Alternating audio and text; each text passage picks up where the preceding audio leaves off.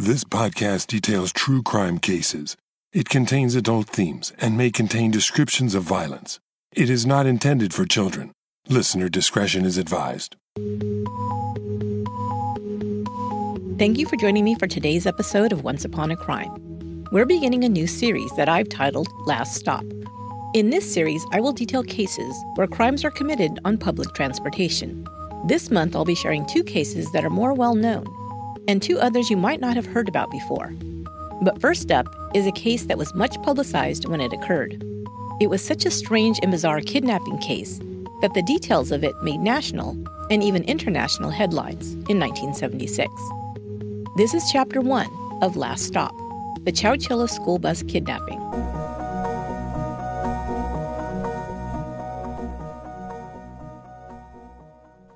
A small farming community located in Central California was the setting for a random and bizarre crime in the summer of 1976. Chowchilla, California, at that time, had a population of less than 5,000 residents. Most of the town's families supported themselves with small independent farms or by working in local industries that supported agriculture related businesses that dominated the region. Chowchilla is located inland, well off the beaten path. The closest city is Fresno, located 40 miles to the south. Being a small town, there wasn't a lot to occupy the town's children over the long summer vacation from school, so the Dairyland Elementary School District offered a summer school program for kids from the ages of 5 to 14. 175 students were picked up by school buses to start the day at 8:45 a.m. The mornings were spent working on academics like history and math, but the afternoons were spent on fun activities like arts and crafts and swimming. July 15, 1976, was the second to last day of the summer school program. The children had been enjoying their time at summer school so much that a few of them had put together a petition asking for it to be extended through the end of the month. Most of the students, several teachers, and even one of their bus drivers, Ed Ray, had signed the petition in support. The day ended at 3:45 p.m., and students lined up to board the four buses that would take them home. 55 year old Frank Edward Ray, called Ed by the faculty and Mr. Ray by the kids, was driving the last bus to leave the school that day. Just before he closed the doors, one more boy ran up to board the bus. Michael Marshall was 14 years old. Normally, he would only attend the morning academic program and be picked up by his mother at noon. But Michael was being punished because he and his friend Dougie had gotten into trouble together the day before. After school, he and Dougie were hanging out at Mike's house and grew bored. They decided to drink some beer they found in the fridge. Before long, they were drunk. They were stumbling and goofing around when Mike's mother returned home and caught them. As a punishment, she told Michael that she was not going to pick him up from school, probably so he wouldn't be home unsupervised for so many hours and get into more mischief. This meant that Mike would have to take the bus home with the little kids. This was not ideal for Michael.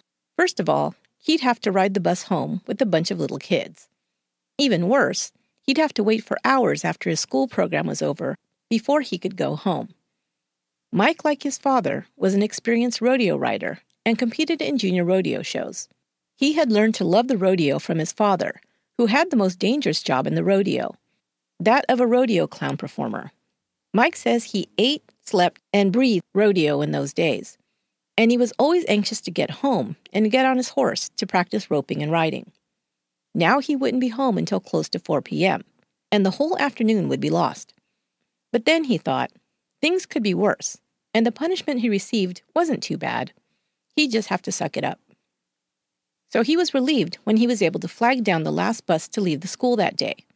He asked Mr. Ray if he could take the bus home, and he was assured he could. He jumped on for the short ride. Mike, at 14, was the oldest child on the bus. The youngest was four year old Monica Ardrey. Most of the rest of the kids were between the ages of 5 and 12. Jeff Brown, age 11, was on the bus, as was his sister, Jennifer, age 9. Robert Gonzalez was 10 and had a younger brother on the bus as well. Linda Carrejo was on the bus along with her three sisters. Edward Ray had been a school bus driver for the Chowchilla School District for over 26 years. He was well known and well liked by all of the children. He was also a local farmer, operating a small farm with his wife Odessa. The bus pulled away from the school just after 3:45 in the afternoon. It would make four stops to drop off all of the children. The trip began uneventfully, and Ray made the first 3 stops without incident. But at about 4:15 p.m., with 26 children still left on the bus, 19 girls and 7 boys, the bus made an unscheduled stop. While driving down Rural Avenue 21, a narrow gravel road, Ray was forced to stop the bus because a van was parked blocking the road in front of him. The hood was up, and Ray decided to see if they needed any help. But just as soon as he'd opened the bus door, and before he had time to get up out of the driver's seat, a man burst into the bus wearing pantyhose over his head to conceal his face. He was brandishing a shotgun. He ordered Ray into the back of the bus, while two other men emerged from the van parked in the road and also boarded the bus. Shouting at Ray and a couple of the older boys, including Michael, to get to the back of the bus, the masked men began yelling at the kids who were frightened and began to cry. Shut up and do what you're told if you don't want to get hurt, they snarled at the terrified children.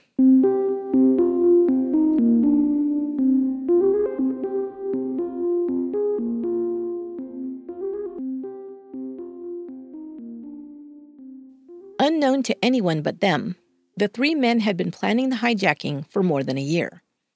Fred Woods, Richard Schoenfeld, and his brother James Schoenfeld were all in their early 20s and were all sons of wealthy families.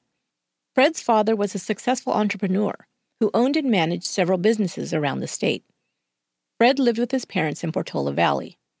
Rick and Jim Schoenfeld were the sons of a doctor, and they lived in Atherton, a small Northern California town that is ranked as having one of the highest per capita incomes among U.S. towns of its size.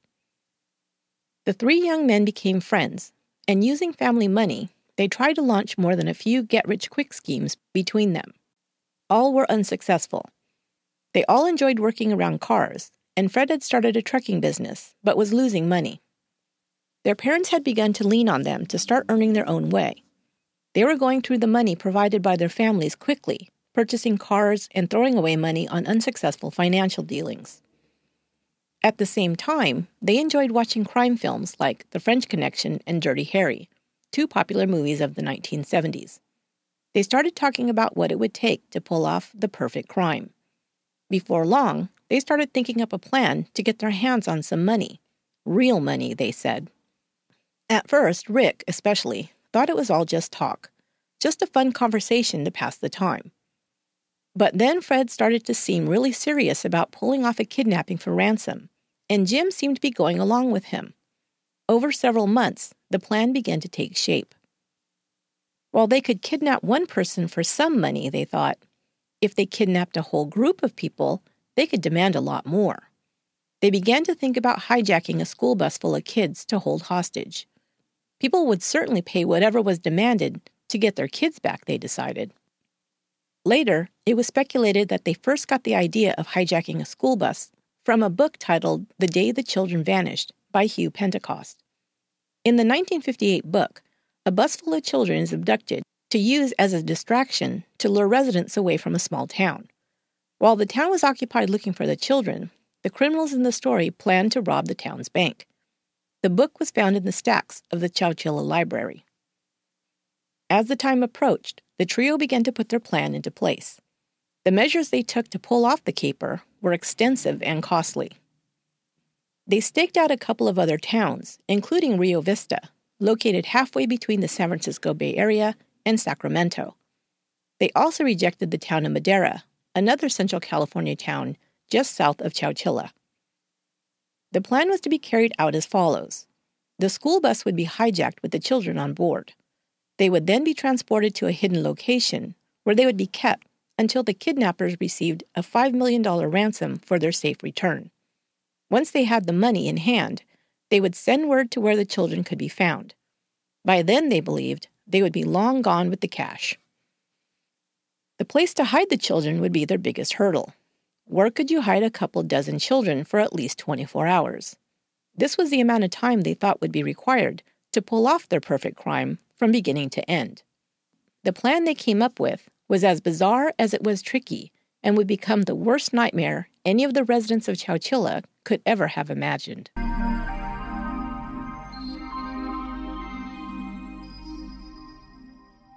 Woods and the Schoenfeld brothers actually tried to hijack the school bus a day earlier, but the timing didn't work out. They didn't give up, however, and came back the next day to try once again. On July 15, 1976, at 4:15 in the afternoon, the Chowchilla school bus was hijacked with 26 children and one adult inside. The bus was commandeered by one of the kidnappers, while another was inside, pointing a gun at the hostages. The third man followed behind in the van. The bus turned off the road and went through a bumpy field, driving through a thick grove of bamboo. The bus was shaking back and forth as it cut through the dense thicket. Some of the kids grew frightened and began to scream and cry. The kidnappers kept yelling at them to shut up, which only frightened them more. Finally, the bus came to a shuddering stop.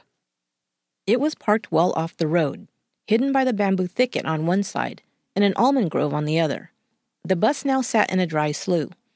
At the end of the slough, there were two more vans parked in a clearing.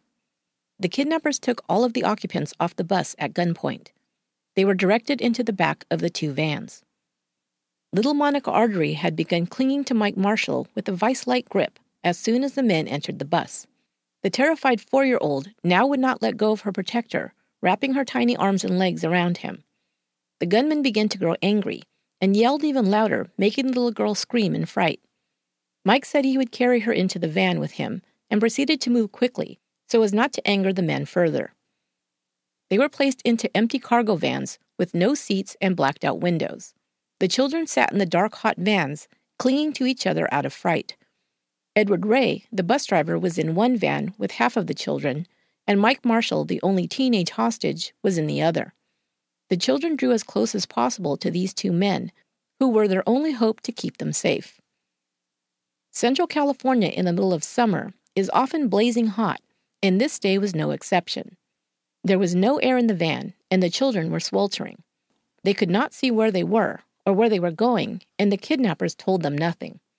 Some of the children became sick from the heat and the automobile fumes and vomited in the van. Others were so scared they wet themselves. The stench began to grow unbearable. Mr. Ray and some of the older children tried to calm the younger ones by getting them to sing songs together. Some mercifully fell asleep for a bit. The time riding in the vans went on for several hours and seemed endless.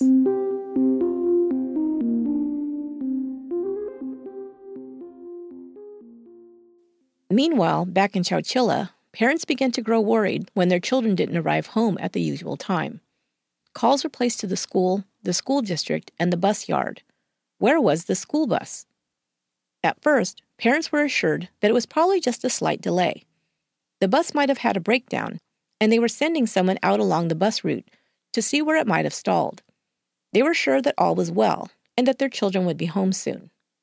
However, they soon discovered that the bus driven by Edward Ray had made its first three stops and then simply disappeared. By 7 p.m., an all points bulletin was put out to all police and sheriff's units in the area to be on the lookout for the missing school bus. Search parties were formed, and searches were done by ground and air.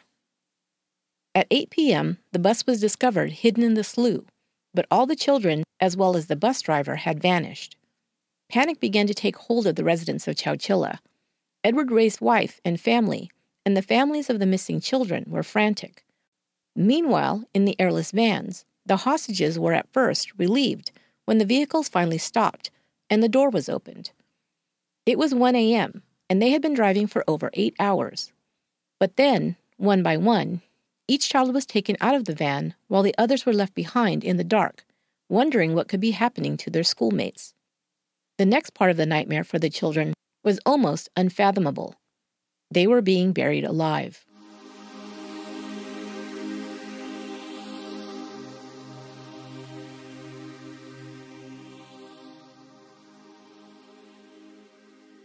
The investigation continued.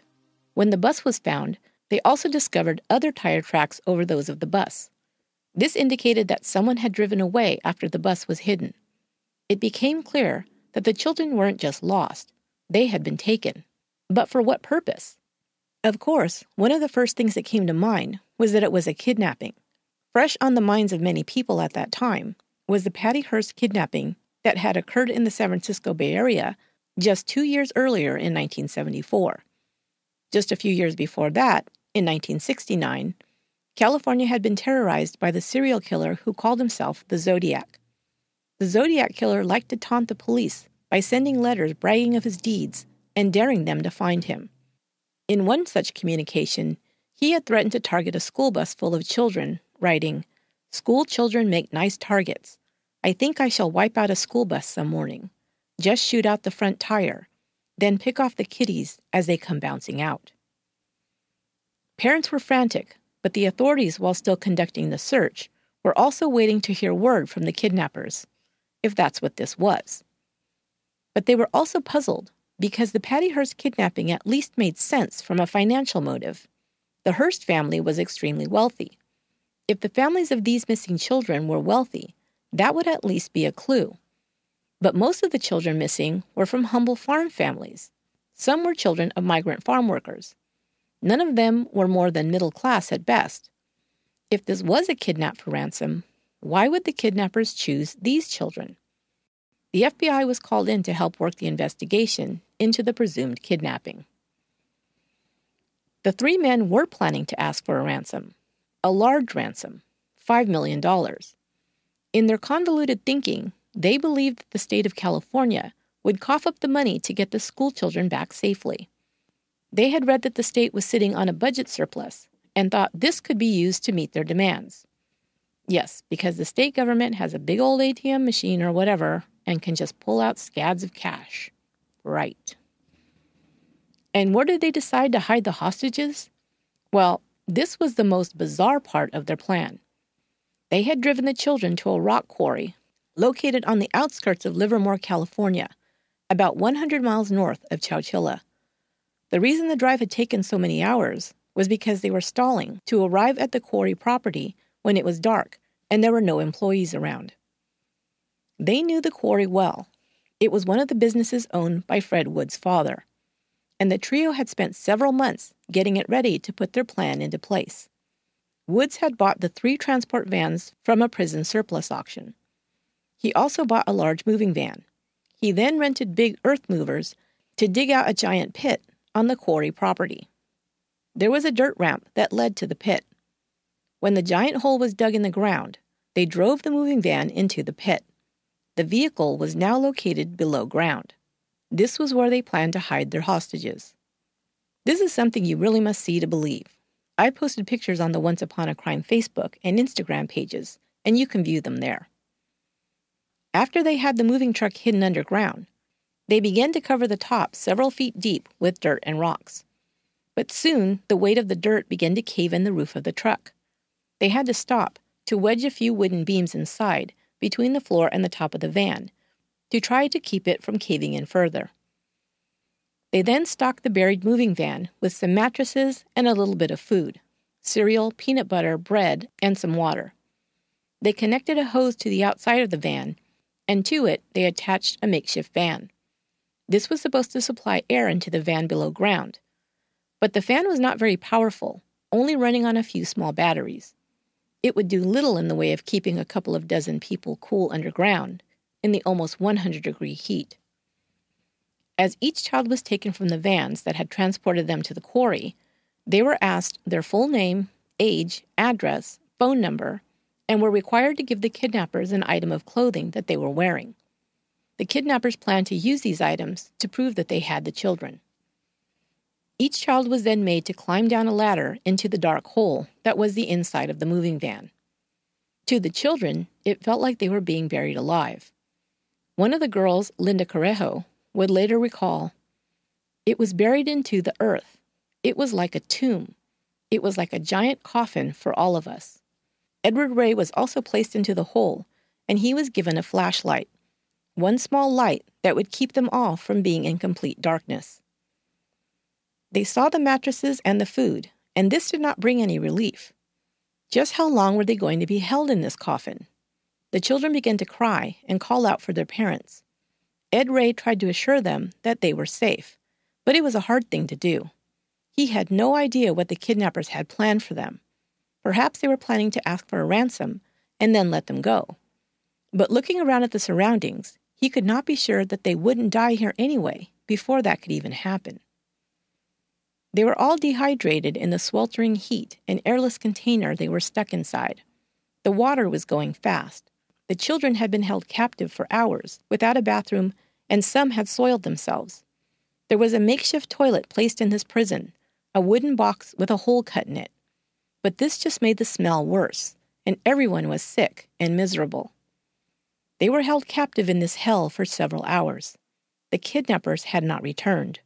What was going to happen to them? How long could they survive this misery?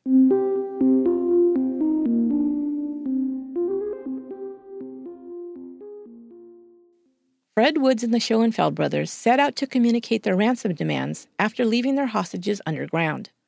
They first tried to place a phone call to the Chowchilla Police Department to relay their instructions. But in 1976, they were dealing with a pretty basic phone system. And what was happening in Chowchilla was keeping all the phone lines into the police department busy. There were children from 17 different families missing, as well as the bus driver. All of the parents and other family members were continuously trying to reach the police to get information, report their missing loved ones, and generally get updated on the search. Because of this, the kidnappers continued to hear a busy signal when they tried to reach the police department and could not get through. This continued for three hours. They finally gave up and thought of a plan B. They would write a ransom note and somehow have it delivered. Meanwhile, the conditions the hostages were in was growing worse by the hour. They had been underground for over a dozen hours now. The water was almost gone, as was the food. Some children started to faint from the heat and their terror. Ed Ray could see that something needed to be done. He didn't know how or when someone would find them, or if they would be rescued at all. He feared that some or all of them would die before that happened. There was also two times when the roof started to cave in. Ray knew that if this happened, they would all be buried alive. They felt like they were suffocating. After several hours of the small fan pumping air underground, the batteries gave out and there was no fresh air being supplied. Something had to be done. Mr. Ray told a few of the older boys that they might not make it out, but it wasn't going to be because they didn't try. They set out to come up with an escape plan. First, Mr. Ray, Mike Marshall, and two other boys, Jeff Brown and Robert Gonzalez, gathered up the 17 mattresses that were strewn around the van and stacked them on top of one another. They had noticed that there was a metal plate affixed to the roof of the van. If they could reach it, perhaps they could try and pry it open. The first bit of luck was bestowed on them. The mattresses were high enough that when they stood on the top one, they could reach the metal plate. They saw that this was possibly a way out. They first needed something to be able to pry it open with. The only thing available was one of the wooden beams that was being used to keep the roof from caving in. But they had no choice. They had to try and remove it and pray for the best. The second piece of luck in their favor was that the roof held. They wedged the board into the opening in the metal plate and were able to get it open. Once they did, they saw that several large heavy vehicle batteries had been placed over the lid to hold it closed. Little by little, Ray and the boys inched the batteries until they were able to move them out of the way. It was slow and difficult work, and they were afraid that at any moment the kidnappers could return. If they did, they would surely kill them, they thought. They kept going as fast as they could to find a way out. Once the batteries were moved, they still had to clear out several feet of dirt and debris that had been placed on the roof of the moving van. After clearing earth away for what seemed like an eternity, they finally saw a shaft of light. They had made it to the top. They quickly cleared a hole large enough for one of the smaller boys to fit through. It was his assignment to go up and survey the area to let the others know if the coast was clear. It was. By now, the kidnappers had given up trying to reach the police by phone and were busy deciding what to do next. As they were planning their next steps, they fell asleep. This was the last bit of luck the hostages needed to make their escape. One by one, Ray lifted each child out through the hole they had dug and up to the older boys waiting outside. Finally, he crawled out as well, the last to leave the hell in which they'd been entombed for 16 hours. Quickly and quietly, they made their way across the quarry in the dark. It was 4 a.m. when they came upon a guard shack. The employee came out and saw the group and immediately knew who they were. The news of the missing children had been playing on television news reports for almost the past 24 hours. As he came towards them, he told the ragged and exhausted group, The world has been looking for you.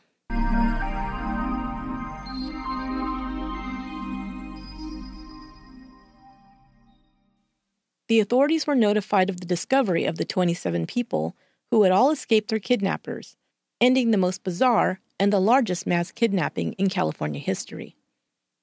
An FBI spokesperson made the following statement They are all in good shape. The bus driver is in good shape. We have no subjects in custody. The investigation is continuing. And then he said what the families had been waiting to hear for 36 long hours. The parents will be reunited with their children tonight. The children are all right, the driver is all right. These words ended one of the most bizarre incidents in the history of the Central Valley. The 26 Chowchilla youngsters and driver Ed Ray were found in this desolate area near Livermore. Imprisoned in the body of an old semi-truck, Ray and the kids dug themselves out and went for help. The area was sealed to photographers as criminologists combed the cave and surrounding areas for clues to the identity of the kidnappers. The group was taken to Santa Rita Correctional Center and placed in the care of the FBI. Some suffered from overexposure, but considering their ordeal, they were fine. While parents and friends waited anxiously in Chowchilla, the FBI questioned Ray and the children. A bus was charted. At long last, the trip home began.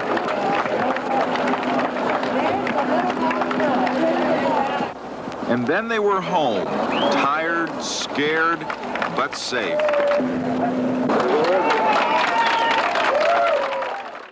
Ed Ray, the bus driver, was hailed as a hero for his part in getting the children home safely.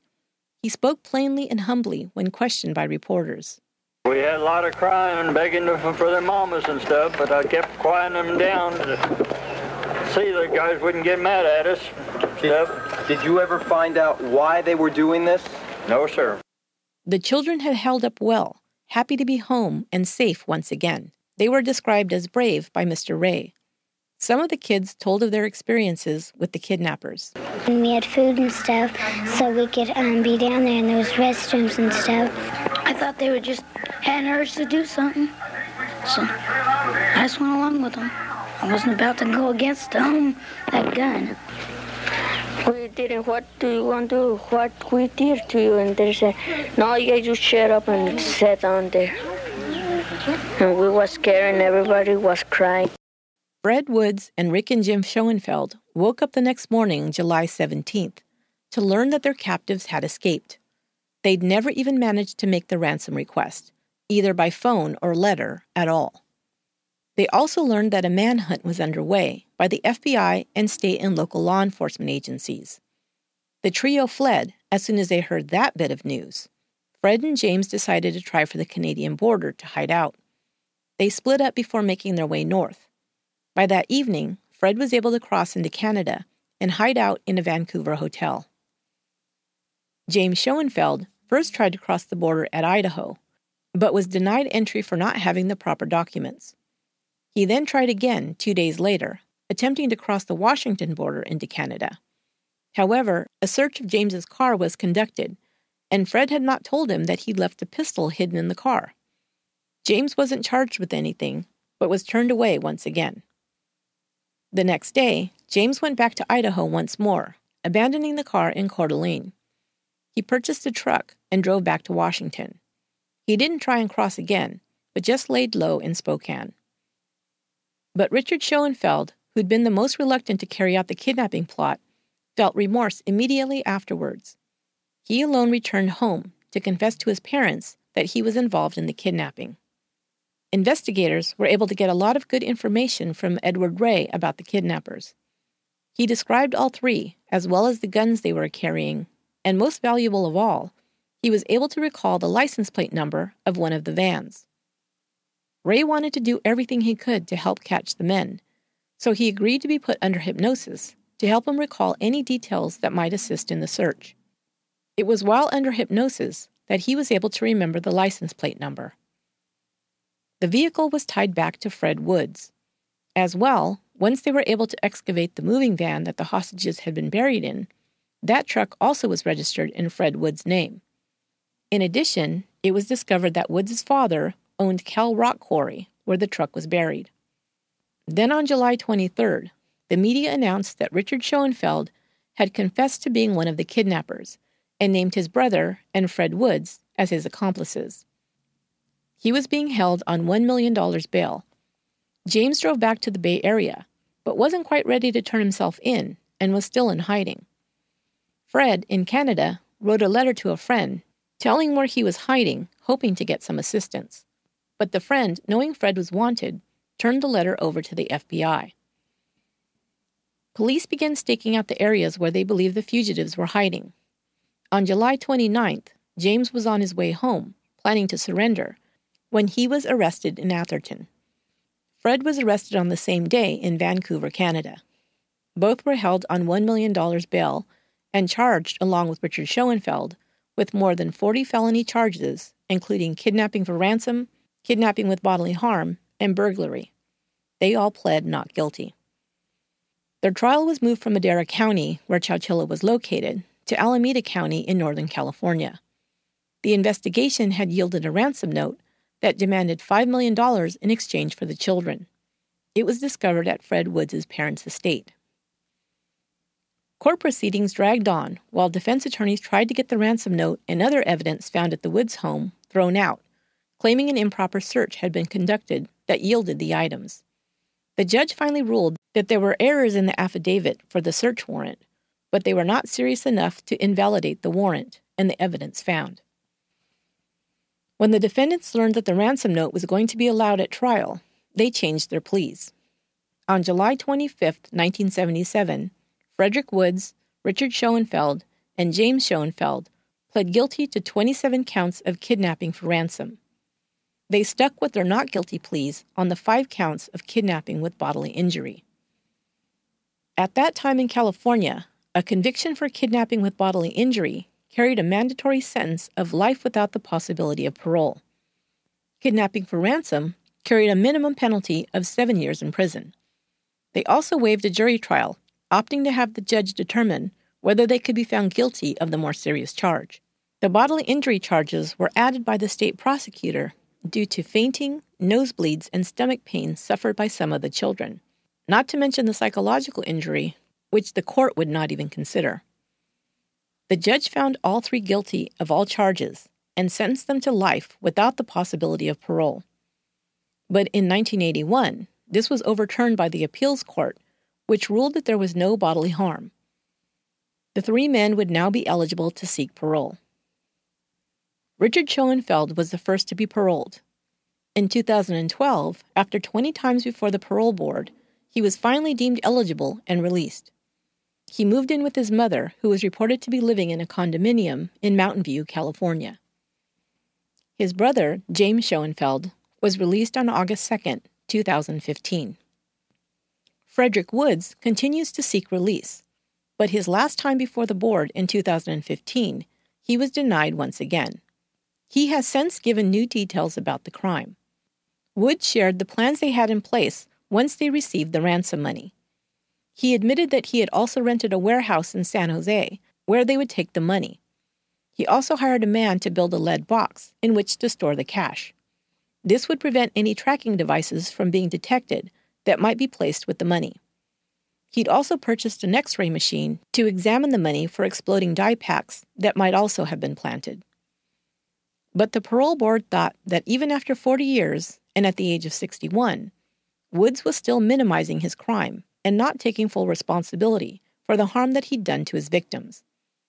He said that none of the children had actually been harmed, and if they said they were, they were remembering it differently than it had actually occurred. He said that he didn't see any of them crying, and at times they were even singing. Woods also continued to live his life of privilege while in prison, purchasing over 60 cars that he collected on the outside and that were being stored for him. He'd also been married twice while incarcerated. Finally, he had disciplinary infractions while in prison, including being in possession of pornography, some of it depicting nude children. He'd also been caught with contraband cell phones. he was denied parole once again in 2015. He will be eligible for parole consideration again this year in 2018. It wasn't until an interview 20 years after the kidnapping that the three men apologized for their actions. Jim Schoenfeld said, I am very sorry, deeply sorry for what I've done. Rick Schoenfeld said, I was immature. I was the follower, and I made an extremely stupid decision here. Woods said, It was just a lot of pain and suffering we put everybody through that we didn't realize we were doing at the time. But now I just hope that everyone is going on with their lives. Everything can be somewhat back to normal.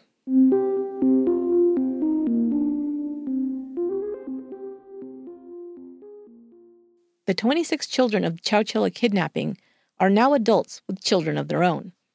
Over the years, they have experienced many challenges from nightmares and anxiety to depression and substance abuse.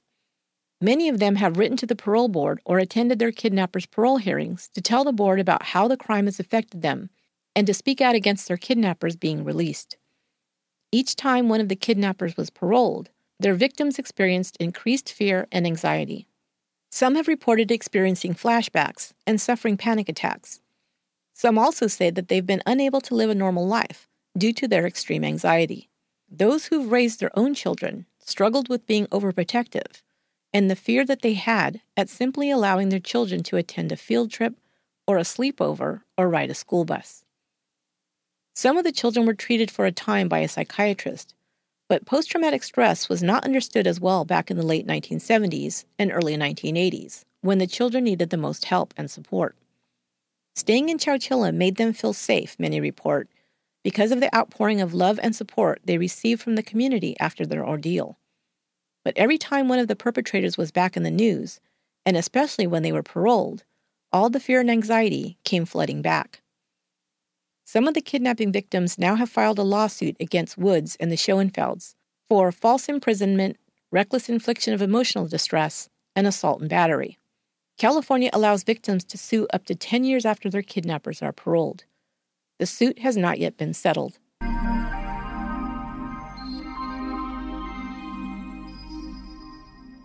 Frank Edward Ed Ray remained a beloved citizen of Chowchilla Five weeks after the kidnapping, the town celebrated the first Ed Ray and Children's Day. Ray was presented with an award for outstanding community service by Governor Jerry Brown. He eventually sold his farm, and he and his wife moved into town. When he did so, he sold the yellow school bus, which had been given to him, to another resident who later stored it in Ray's hometown of Le Grand, California. It has been put on display as part of a small history museum. Many of the children visited, and were permitted to write messages on the school bus to Mr. Ray to thank him. Ed Ray died in 2012 at the age of 91. He still lived in Chowchilla. He was survived by his wife, Odessa, two sons, three grandchildren, and three great grandchildren. However, dozens of others who grew up in Chowchilla and rode Mr. Ray's bus considered him their grandfather as well. Many of the 26 children who were with him on that fateful summer day in 1976, came to visit him in his last days, to give him one more hug and thank him one more time. That will do it for this episode of Once Upon a Crime. If you'd like to support the podcast and get some added perks like exclusive merchandise, early release episodes, bonus content, and more, you can become a Patreon supporter by going to patreon.com slash onceuponacrime. Thanks. Once Upon a Crime is written, produced, and edited by me, Esther Ludlow. Until next time, be good to one another.